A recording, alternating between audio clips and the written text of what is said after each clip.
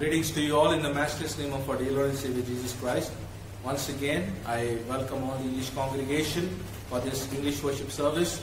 We thank God and we praise God for His faithfulness towards our life, thanking God for His protection, whereas God has been faithful in His provision and God has been faithful in His protection towards our life. At this moment, I want, before I begin the worship service, I want to make an announcement that from this coming Sunday, October 25th, we will be resuming our uh, worship services. We will be restarting our worship services, whereas it has been for the past seven months that we are unable to gather as a group in a church. But from this Sunday, 25th of October, we will be regathering in the church.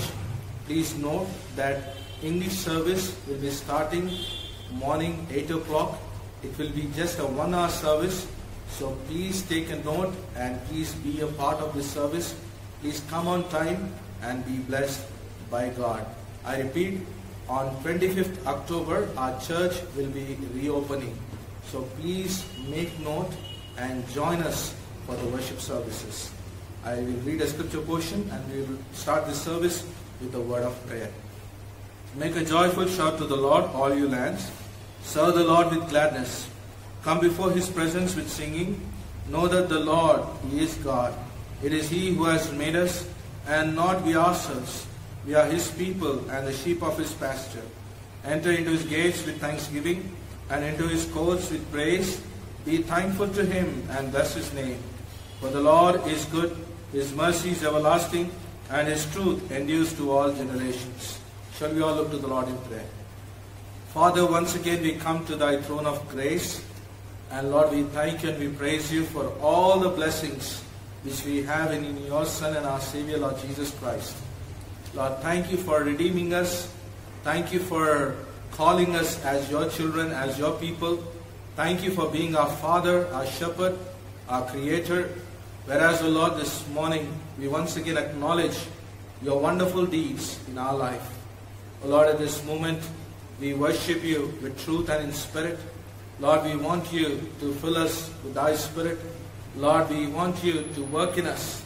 Lord, we want you to take the preeminence in this worship service. Lord, I do pray and thank you for the viewers. I thank you for their families. Lord, thank you for the way you have been uh, faithful towards them. And Lord, thank you for every provision in their life. At this moment, O Lord, as we begin this service, Lord, help us to have that thanksgiving heart. Whereas, O Lord, we sing and we shout praises unto you, saying, You are our God and we are your people. Lord, once again, guide us, lead us, and help us. In Jesus' name we pray. Amen. At this time, our English choir will lead us in singing.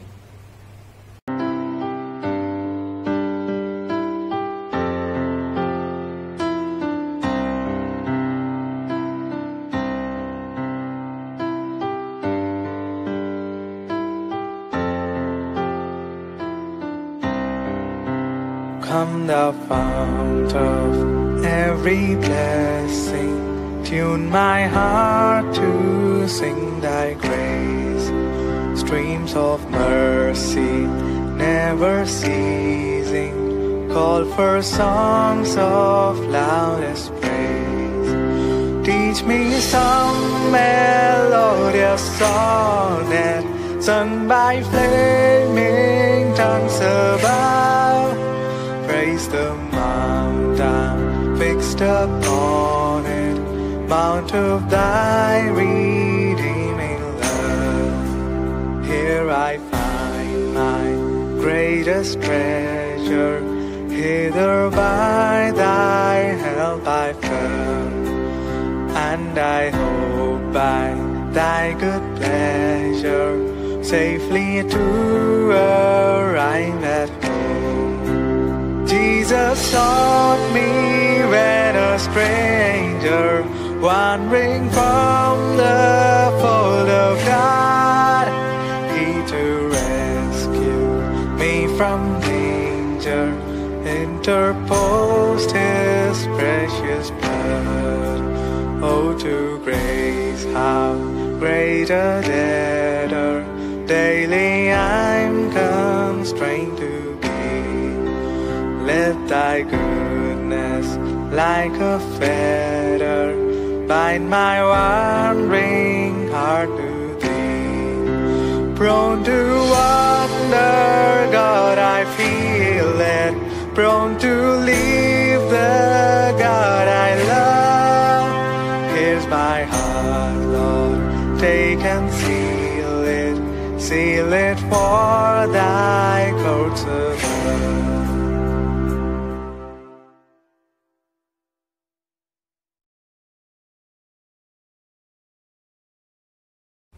Once again, we welcome the English congregation to this English worship service.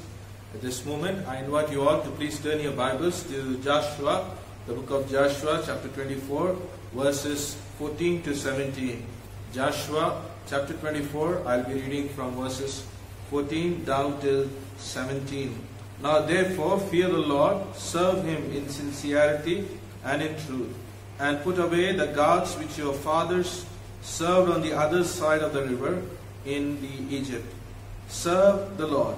And if it seems evil to you to serve the Lord, choose for yourself this day whom you will serve, whether the gods which your fathers served that were on the other side of the river, or the gods of the Amorites in, which, in whose land you dwell.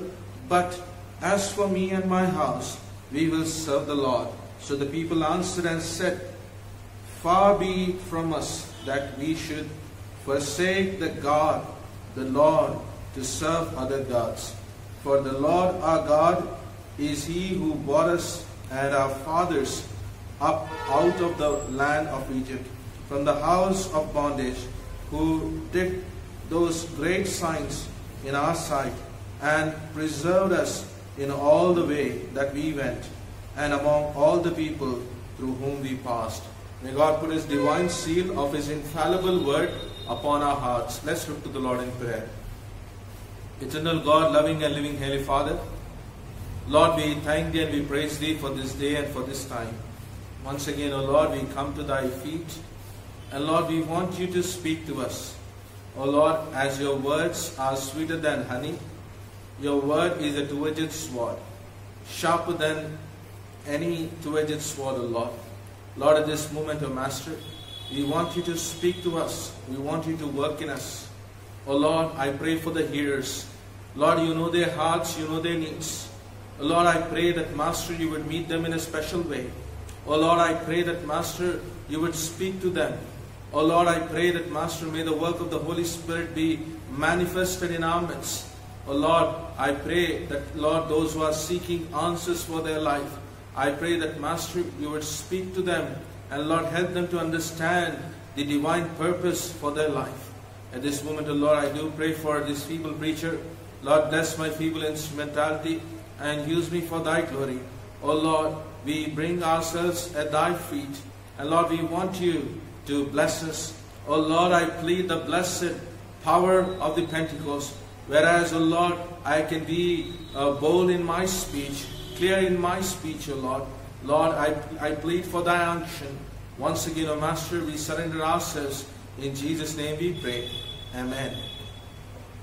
The book of Joshua is speaking about God's power. The book of Joshua is all about conquering the land. The book of Joshua, it also speaks that how God stood for his people. My friends, when we study the book of Joshua, we see two things, my friends, two prime things that we need to understand. One is the promise, and the second one is a work.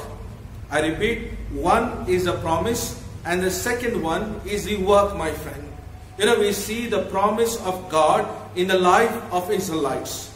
You know, God has promised these Israelites a land which was promised to Abraham, Isaac, Jacob, and you know, now when we when we when we study the book of Joshua, in the first chapter, we see the people of Israel. You know, they they made their tents just beside Jordan, and they were about to possess the promised land.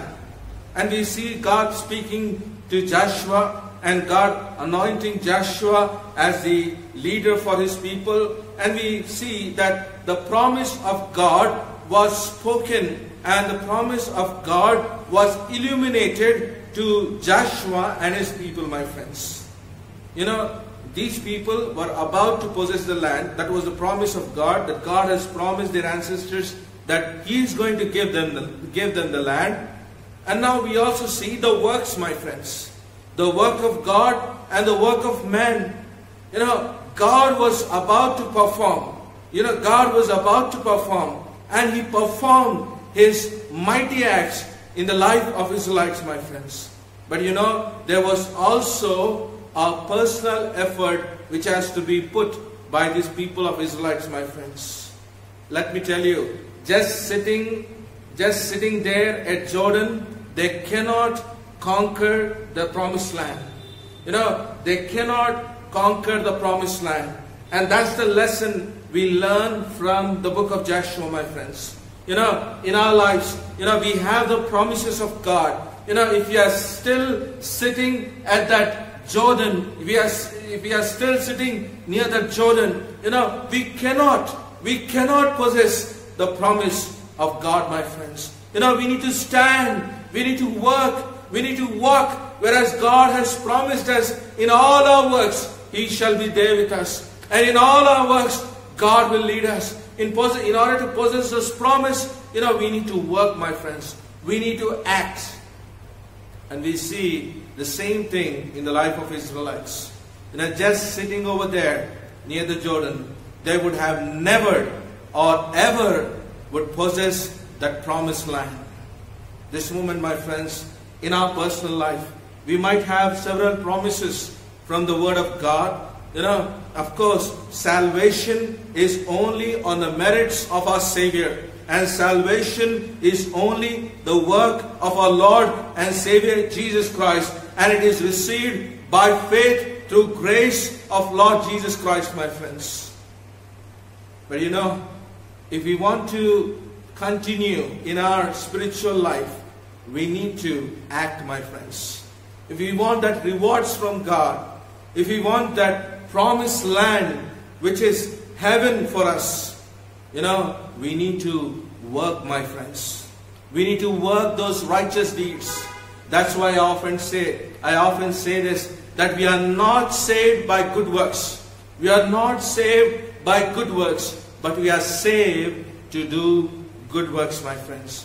We are saved to do good works. And when we read the book of Joshua, you know, we see the hand of God was there with this leader who was unctioned by God, who was led by God. And we see God through Joshua who have done several uh, wonders and God has performed great things through this man, my friends. You know, the people of Israel have seen and they have witnessed the power of God. You know, I love I love the verse which is uh, which is written in Joshua chapter 23. Uh, Joshua chapter 23. You know, it says, you know, it says uh, in 23 verse number 9, it says, For the Lord, uh, for, for the Lord has driven out from before you great and strong nations, but has for you, no one has been able to stand against you to this day. You know, we see God has driven out, God has cast out all those strong nations because God stood on their behalf. This moment, my friends, you know, in our spiritual aspect, God has taken away, God has put it, uh, God has put a, uh, you know, put a full stop from the wrath of God and the penalty of sin in Jesus Christ. You know, sin was powerful. And you know, sin is powerful. And you know, we see that God has saved us from that penalty of sin. This moment, you know, we need to understand that when God has saved us, when God has worked in our life, He expects that we need to stand for Him. We need to walk in His ways this moment, I want to entitle my sermon as Standing for the Things of God. Standing for the Things of God. You know, the, the scripture passage which we have read in Joshua chapter 24, verses 14 to 17, we see Joshua is he is making an open proclamation. He's saying, Hey, look, you people of Israel, that, you know, as, you know, you serve whomever you want, but as for me and my family, we will serve the Lord. We will serve the Lord. You know, my friends, there was a firm decision, and we see this man of God standing for the things of God. This moment, my friends, I want to read this quotation, uh, which is said by a great man of God. You know, it says, uh, it says, it is said that a wise man who stands firm in a, is a statesman. Statesman. You know, a wise, it is said that a wise man who stands firm is a statesman, and a foolish man who stands firm is a disaster. A foolish man who stands firm is a disaster. And as, as believers, as Christian Apostle Paul has given us this, he has given us this uh, uh, uh, charge that we need to stand firm for the purpose of God. When we read 1 Corinthians chapter 15, verse 58, it says, 1 Corinthians chapter 15, verse 58, it says, Therefore, my beloved brethren, be steadfast, immovable, always abounding in the work of the Lord, knowing that your labor is not in vain in the Lord. Amen. You know, Paul is uh, reminding the Corinthian believers that they need to stand for, they need to stand firm, they need to be immovable, and you know they must be always abounding in the works of the Lord. And also he says that be steadfast, be loyal. This moment, my friends, we need to be firm. We need to be loyal to our God. We must be loyal to our Savior who has saved us from the penalty of sin. And you know, one day He will save us from the presence of sin. As we see Joshua chapter 24, verses 14 to 15, you know, it takes courage to stand for the things of God in a godless world, my friends. You know, there was a possibility and there was a danger for people of Israel because after the death of Joshua, there is a possibility that they would adopt the customs and they would adopt the system of the surrounding nations and those nations would influence their lifestyle. Those nations would change their God. This moment, my friends, you know, Joshua, Joshua made this statement in those, uh, you know, in those circumstances that he would stand firm for God. That's why we see, you know, it, it needs courage to stand for God, to stand for the things of God in a godless age, my friends. You know, where we, we, we live in an age, you know, where people seek pleasure, my friends. You know, they are pleasure seekers, my friends. You know, when we when, when we switch on to TV, you know, when we see that, you know, you know, we, we see the all the crime which is going on, and we see the society and the rules and the way they work, you know, everything is corrupted. But you know, God wants us to be faithful, my friends. God wants us immovable in our Christian walk. Amen. He wants us to be steadfast in our Christian walk, my friends. You know, my friends, let me tell you, to stand firm in God, to stand firm for God, it needs courage, my friends. It needs courage. You know, we see the young people, Daniel, Shadrach, Meshach, Abednego, you know, they stood firm for the living God. You know, he said that they would not defile themselves by eating this king's portion. Not only that, you know, when we when King Nebuchadnezzar made that huge image, you know, they did not yield, they did not bend down to that uh, idol, my friends. And we see, you know, they knew that, you know, uh, obeying not the commandment of king would cost them their life. But, you know, we see they were standing firm and they were courageous, my friends. That's what we see in Joshua's life. You know, he said, uh, you know, you choose whomever you want to. You go wherever you want to go. You adopt whatever custom you want to adopt. But as for me and my house, we will serve the Lord. We will serve the Lord. You know, that's the statement of Joshua, my friends. You know, he was standing for the things of God. You know, we need people, we need Christians in this age, in this era, that they will stand for the living God, my friends. The people in Joshua's days were being influenced by the wicked nations around them. You know, we see in our, in our, in our, in our present generation, in this present era, you know, people can be easily influenced with the present custom, my friends. People can be easily, easily influenced by the system of the world, my friends. You know, it's all about lust. It's all about pleasure. You know, we, we, we live in a nation, we live in a nation where people consider everything as God. But let me tell you, let me tell you, you know, we need to stand firm for God. We need to stand firm for God. Let me tell you, my friends, that, you know, there is a possibility, there is a possibility to go and fall in the trap of Satan when we fail to follow the word of God. When we fail to follow, when we fail to spend time in the presence of God, my friends, Joshua knew the danger this brought to the people of God and to his own family, my friends. Joshua was committed to, to lead his family in the God's way. You know, this moment, my friends, we need to understand, you know, we need to understand that Joshua was taking care of his family and you know, he was so firm and he was making sure that his family would not be influenced. His family, as for his family, they will not adopt the culture of the other nations, my friends. This moment, you know, we need to understand the truth. You know, the text which we have read is very familiar, my friends. Perhaps we have, we might have read this text on several occasions. We might have heard hundreds of sermons. But this moment, my friends, we need to understand some of the prime truth and I want to put them before you. You know, what does it mean when we say we are standing for the things of God?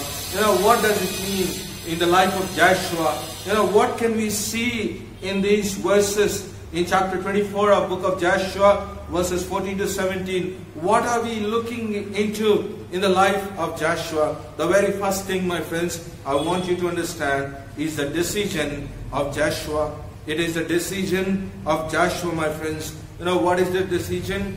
You know what is this decision? It's a personal decision, my friends. It is a personal decision. It all matters. It all begins with our proposal, with our decision, my friends. You know, that's why we see in the, in the first psalm, whereas the psalmist says, that blessed is the man who walk not in the counsel of the wicked, nor stands in the ways of the evil one. This moment, my friends, you know, we need to understand that it all matters. It all begins with our decision, my friends. And in this passage, we see the decision of Joshua.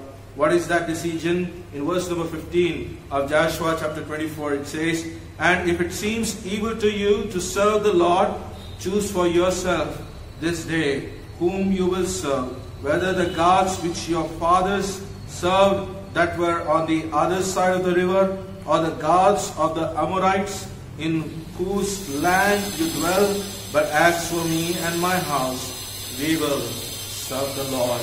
As for me and my house, we will serve the Lord. It is not only a personal decision, it is also a practical decision, my friends. A practical decision we see in this passage. What is that decision? What is that practical decision? You know, we see, you know, this practical decision is based upon the past blessings of God. You know, this practical decision is based upon the past blessings of God. In verse number 13, we see that I have given you the land for which you did not labor, and the cities which you did not build, and you dwell in them. You eat of the vineyards and olive groves which you did not plant. You know, we see, you know, it was all about God's blessing in their life. The decision has to, uh, you know, they have to make a decision considering the blessings of God in their life, looking back on the things what God has done in their lives, my friends. In verse number 17, we see, For the Lord our God is He who brought us and our fathers out of the land of Egypt, from the house of the bondage, who did those great signs in our sights. You know, the people reacted. And, uh, you know, we see uh, that the way God has worked in their life. In verse number 18, we see, And the Lord drove out from before us all the people, including the Amorites, who dwell in the land, who also will serve, uh, we also will serve the Lord. He is our God. You know, we see it is based upon the past blessing. It is the decision, the practical decision of Joshua is not only based on the past blessing, but it is based upon the folly of the past decision of Israel. You know, it says it is a it is a folly of the past decision of Israel. In verse number 14 and 15, it says, Now therefore fear the Lord, serve him in sincerity, in truth, and put away the gods which your fathers served on the other side of the river and in Egypt. Serve the Lord. You know, we see that's the, the, the commandment and that's the commission, that the, that's the call of Joshua, my friends. That, you know, the decision of Joshua was completely based on the folly of the past decision of Israel. You know, they were serving the gods on the other side of the river, which were ungodly, which were God, you know, they were gods, but there was no life in them. But Joshua is saying, serve the living God, the God who brought them out of bondage, and the God who has given them a promised land. Not only that, my friends, it is based upon the consequences of denying God. You know, this decision is also based upon the consequences of denying God, my friends. It is a dangerous thing. It is a dangerous thing when we deny the living God. In verse number 20, it says, If you forsake the Lord and serve foreign gods, then he will turn and do you harm and consume you after he has done you good. You know, we see the God who has done so good. You know, Joshua is giving them a caution that if you turn away from the Lord, God is going to consume them. God is going to consume them. You know, we see that his decision was a consequence, it was based on the consequences of the past when they denied the living God, my friends. This moment, you know, we need to understand we must be firm in our decision and we need to understand and that we need to observe uh, the danger of denying God, my friends. The danger of denying God. You know, when we see the people of, you know, the men and women in the Bible, you know, when they denied God, you know, there was a severe consequences. There was a, the wrath of God was proclaimed upon the God's people. At this moment, my friends, we need to understand that it is a dangerous thing. It is a dangerous thing when we deny the living God. Not only that, my friends, the second thing I want you to notice is the declaration of the Joshua. The first thing we have seen, the decision of Joshua, and the second thing is the declaration of Joshua. And in verse number 1, it says, Then Joshua gathered all the tribes of Israel to Shechem and called the elders of Israel for their heads, for their judges, and for their officers. And they presented themselves before God. You know, we see that Joshua has gathered the people of Israel, and there is a the, the declaration of uh, Joshua. It is open, my friends. It is a public declaration that he called the people in the, in the climax of Joshua. He gathered all the tribes. And, you know, he's saying and he's pronouncing that, you know, that they need to serve the living God. In Matthew's Gospel, chapter 8, verse 38, it says that Lord Jesus Christ is saying that whosoever therefore shall be ashamed of me and of my words in, in this adulterous and sinful generation, of him also shall the Son of Man be ashamed when he cometh in the glory of his Father with the holy angels.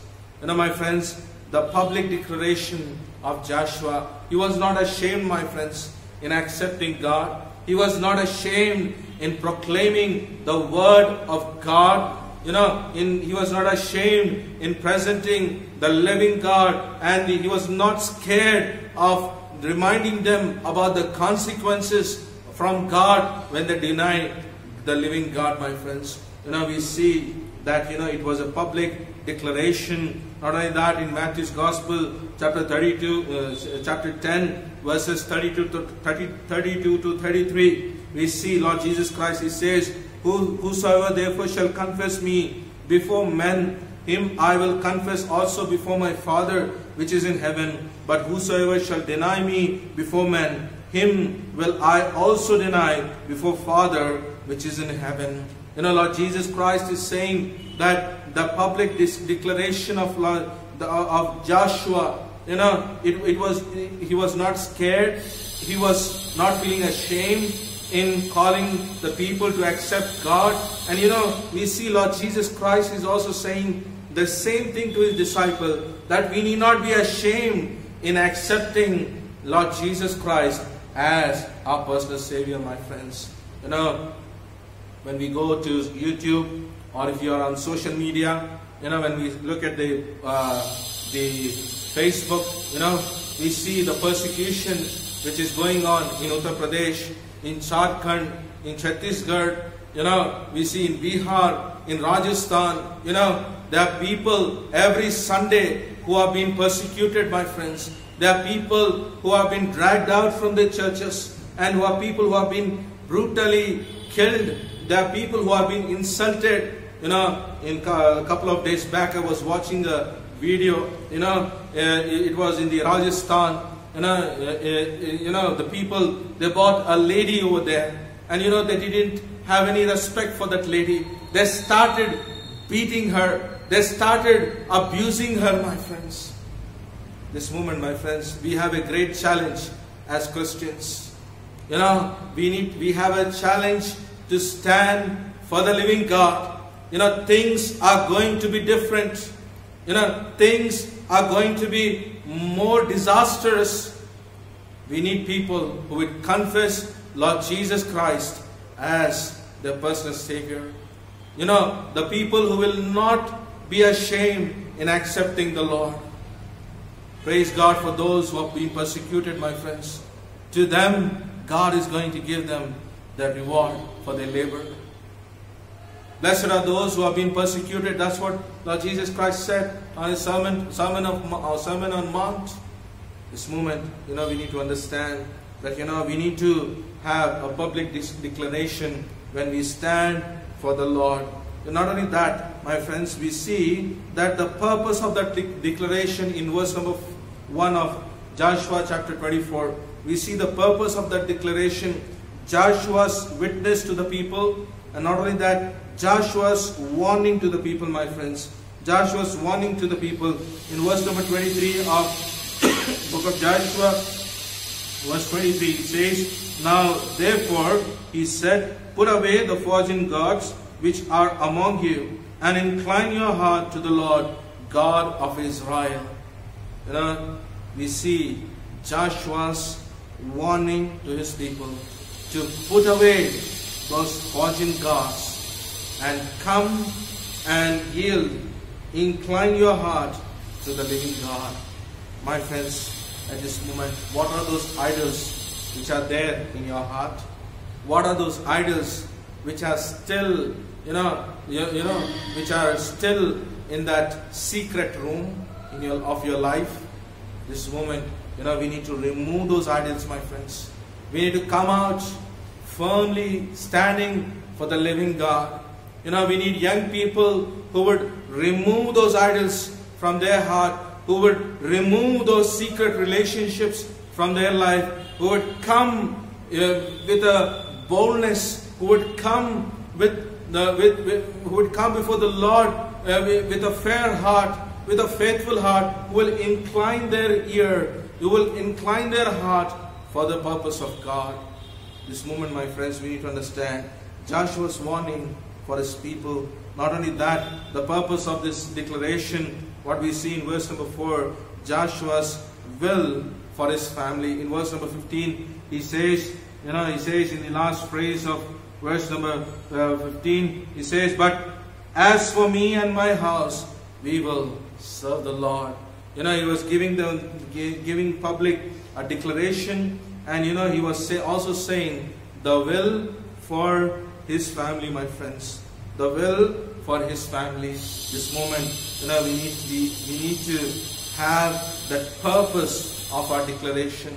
You know, the purpose for living for the Lord.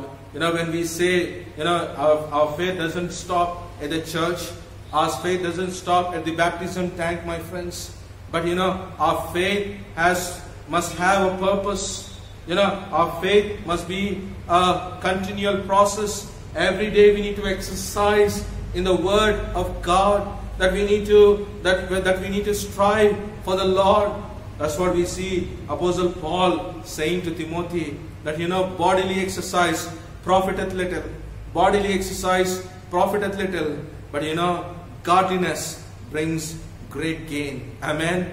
Godliness brings great gain, my friends. We need to have such kind of purpose. We need to have such kind of purpose in our declaration, my friends, that we practice godliness rather than worldliness. I repeat, we practice godliness rather than worldliness. Third thing, and finally, we see the determination of Joshua. We have seen the decision of Joshua. We have seen the declaration of Joshua. Third thing is the determination of Joshua, my friends. You know, what is his determination? Joshua's determination is to be separated from the idols. You know, you need to set aside from the idols. You know, this moment, my friends, when we are standing for God, we need to set aside from those idols, my friends. Idol which lead us to sin, idol which will make us an enemy to God, idols which will bring curse to our personal and family life. This moment, my friends, we need to set apart from those idols. You know, I may not know that idol, but you know in your heart what is that idol which is dragging you back, you know, which is calling you back, which is inviting you to sin again and again. This moment, my friends, we need to separate ourselves from the idols. We need to separate ourselves from the idols.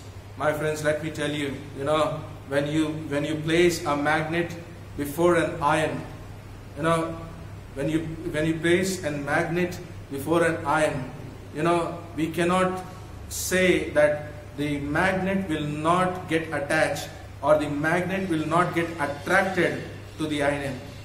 You know, unless and until the magnet is set far from that iron, you know, the magnet is set away from that iron piece, you know, it cannot connect itself to the iron. This moment, my friends, we need to understand this truth.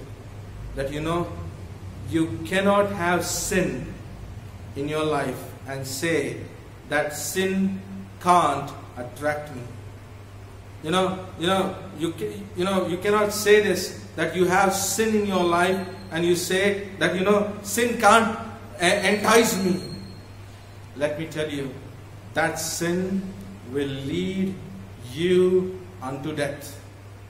Just as the magnet is attracted and we see uh, that you know that magnet is attracted in a way that it will got it will get stuck with that iron you know it, it is it is in a fraction of a second. In the same way my friends sin is so attractive. This moment you know we need to remove those idols from our life.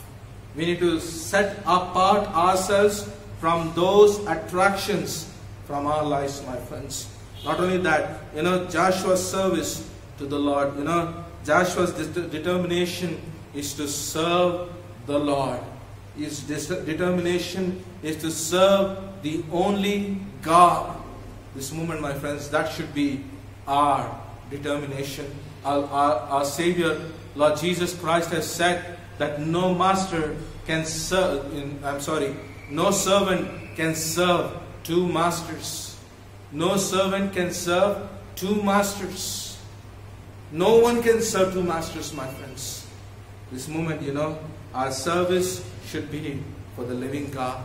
Our service should be for the God who is able to conquer all our battles in our life. this moment, you know, we need to have such determination as Joshua had. Not only that, we see Joshua's submission to God. You know, he submitted himself to God, my friends. This moment, you know, we need to have such kind of heart, my friends, that our hearts, our mind, our life is reserved only for the living God. That we submit ourselves, that we present our bodies as a living sacrifice for His glory. Amen. This moment, my friends, we need to understand this truth that Joshua has a determination to submit himself to the Lord. You know, how many of us as Christians we have this determination that we present our body holy and sanctified in the presence of the Lord. You know, that should be our goal, my friends. You know, we see that, you know, we need the commandment of God in our life. We need the authority and the lordship of our Lord Jesus Christ. And we need to stand for the things of God. And, you know, we need to walk in the ways of the Lord. You know, we see that's the firm decision of standing for the Lord, standing for the things of God, my friends. Joshua was standing only and one and only for the living God, standing for the things of God. For what you are standing, Christian, this moment, for what you are looking for, to whom you are serving, for what you are submitted to.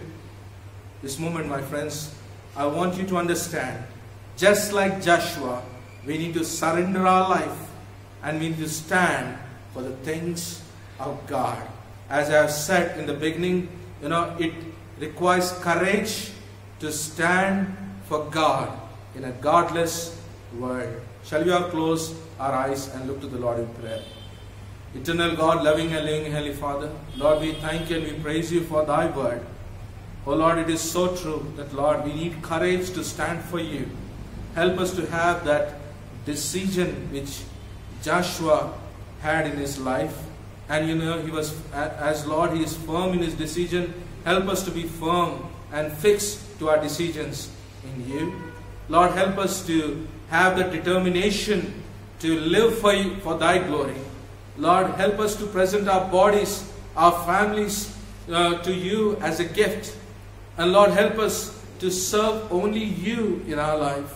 Lord, help us to have that declaration that we belong to you.